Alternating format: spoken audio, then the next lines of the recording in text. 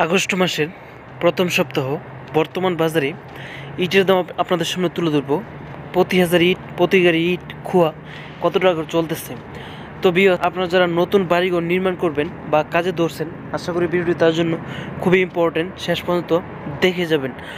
আর আপনি যেখান থেকে ইট নেন না কেন, বাংলাদেশের যে কোনো প্রান্তে ইট নেন না কেন, সবসময় চেষ্টা করবেন বেশি পুরানো হয়েছে এরকম ইট নেওয়ার জন্য এবং যে মাটি দিয়ে ইটগুলো বানানো হয়েছে, সেই মাটির মধ্যে যাতে লবণের পরিমাণ বেশি না থাকে, এরকম ইট নেবেন। কারণ আপনার ইটগুলো লাগানোর এক থেকে দুই বছর পর দেখা গেছে ইটের মধ্যে লোনা ধরে আস্তর পরে আস্তর ভেঙে পড়ে যায় এসব কারণে। তো ইটের মধ্যে সবচেয়ে ভালো ইট হচ্ছে সিরামিক ইট। এক হাজার ইট নিতে পারবেন তেরো হাজার পাঁচশো টাকা করে। এছাড়াও আপনারা এক নং বাংলাইট নিতে পারবেন, এইটগুলো ভালো। এক নং বাংলাইট এক হাজার নিতে পারবেন, বারো হাজার টাকা করে। দুই নং, তিন নং বাংলাইট এক হাজার নিতে পারবেন, এগারো হাজার টাকা করে।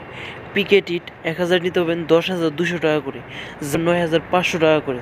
বৃহৎ স্থান এবং জায়গা ভেদে দাম কিছুটা কম বেশি বা পরিবর্তন হতে পারে, কারণ এগুলো ভাড়ার উপর নির্ভর করে ওকে আর এছাড়া আপনারা যারা খোয়া নিতে চান, প্রতি ফুট খোয়া নিতে পারবেন একশো তিরিশ থেকে চল্লিশ টাকা করে এবং একদম ছোটো যে গাড়িগুলো আছে, এক গাড়ি খোয়া নিতে পারবেন ষোলো হাজার টাকা করে।